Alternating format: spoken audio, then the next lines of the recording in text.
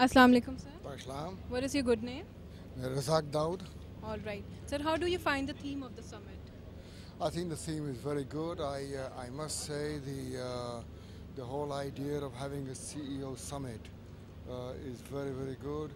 It will enable us to discuss future challenges and how to um, make our own economy strong in the process.